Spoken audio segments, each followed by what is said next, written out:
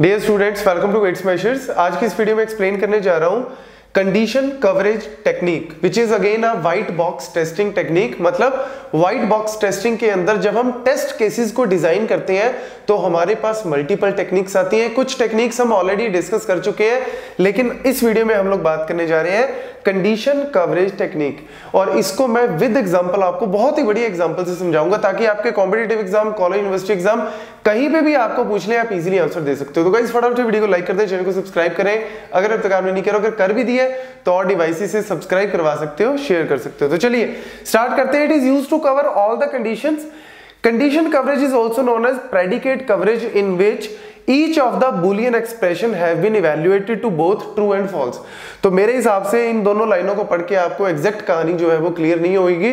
तो कोई बात नहीं, आपको मैं एग्ज़ाम्पल से ही समझाता हूँ। एग्ज़ाम्पल से ही आपको जो है चीज़ें क्लियर होंगी। तो मेरा मेन मोटिव ये रहता है कि यार आपको थ्योरी जो है, वो बाद में बताई जाए, पहले आपको कॉन्सेप्ट की क्लैरिटी दी जाए विद एग्जांपल और उसके बाद थ्योरी तो आप बना ही लोगे अपने आप। तो देखो, यहाँ पे सबसे पहले अगर हम बात करें सिंपल सा प्रोग्राम लिखा है। अब देखो, जब हम बात करते हैं कंडीशंस की तो जब हम इफ़ के अंदर यूज़ करते हैं, या फिर स्विच के अंदर हम लोग यूज़ करते हैं, या फिर वाइल लूप के अंदर हम लोग यूज़ करते हैं तो जब हम मल्टीपल कंडीशंस को यूज़ करते हैं अपने प्रोग्राम में तो हमारा टेस्ट केस इस तरीके से डिज़ाइन होना चाहिए कि वो हर कंडीशन को इवेल्युएट करे। चाहे वो ट्रू में करे, चाहे फॉल्स में करे, लेकिन हर कंडीशन को इवेल्युएट करना ज़रूरी है। देखो, मैं आपको इस एग्जांपल से समझाता हूँ। लेट से मेरा टेस्ट केस यहाँ पे है पहले A is equal to zero B zero C zero D zero ठीक है, मैंने यहाँ पे एक टेस्ट केस इस तरीके का बना लिया। ए बी सी डी की मैंने वैल्यूज़ ले ली। चलिए स्टार्ट करते हैं हमारा प्रोग्राम यहाँ से स्टार्ट हुआ। रीड ए बी सी ये तो सिंपल लाइन है। यहाँ पे आओ। मेन फोकस आपका यहाँ पे है। If A double equal to zero मतलब आपका यहाँ से स्टार्ट होगा।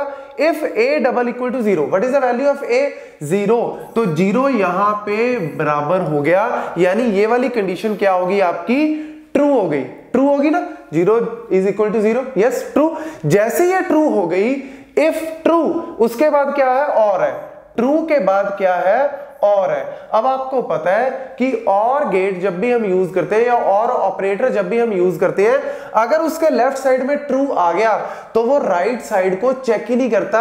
चाहे राइट साइड में ट्रू आए आंसर ट्रू आएगा, या राइट साइड में फॉल्स आए, तब भी आंसर ट्रू ही आएगा। तो इस केस में होगा क्या?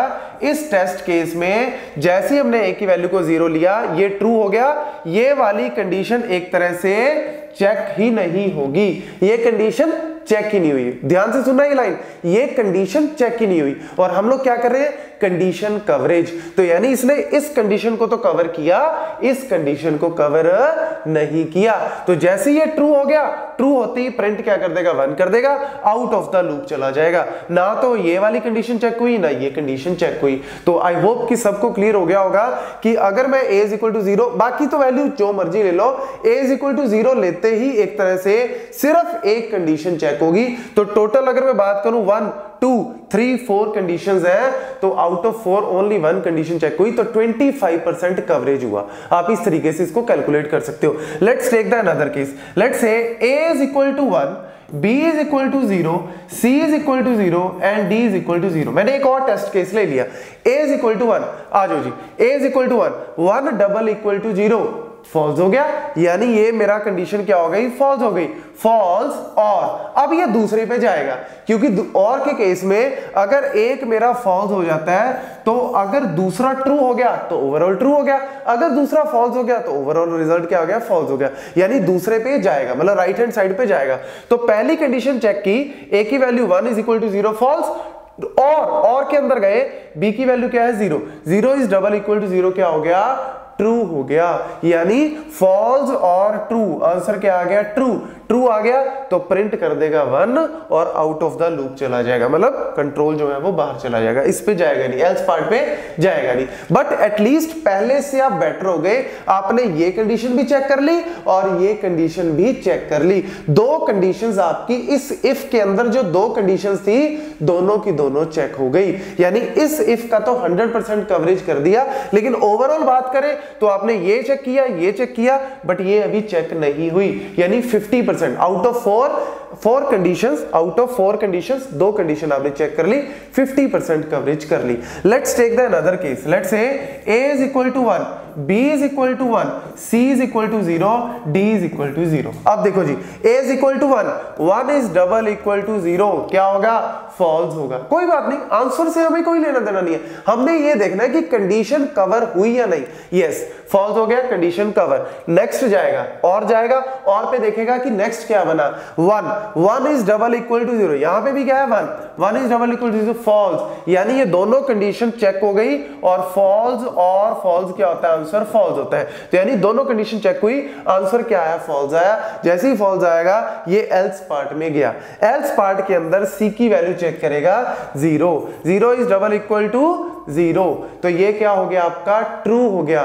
ट्रू हो गया तो अगेन वही आपका नेक्स्ट क्या है? एंड अब नेक्स्ट क्या है? एंड अब यहाँ पे भी अगर आप और लिख देते तो ये डी वाला चेक नहीं करता। आई होप कि अब आपको क्लियर हो गया होगा कि कंडीशन कवरेज की हम बात क्या कर रहे हैं। तो यहाँ पे मेरा आंसर क्या आ गया एक तरह से? लेट से यहाँ पे आंसर क्या आ गया? C double equal to zero क्या हो गया ये? ट्रू हो गया। ट्रू हो गया एंड पे जाएगा। अब एंड में दोनों चेक करता है। ट्रू एंड नेक्स्ट भी चेक करेगा, क्योंकि एंड में अगर एक भी फॉल्स हो जाता है तो ओवरऑल आंसर फॉल्स हो जाता है। तो नेक्स्ट क्या गया? डी डी की वैल्यू क्या है? Zero zero double equal to zero क्या हो गया? ट्रू हो गया। यानी true is equal to true क्या हो गया? ट्रू अंदर जाएगा और प्रिंट कर देगा ट्रू और यहाँ पे देखो, आप कितनी कंडीशंस को कवर कर पाए। ये भी कवर ये भी कवर ये भी कवर ये भी कवर तो ओवरऑल आपकी सारी की सारी क्या होगी कवर हो गई।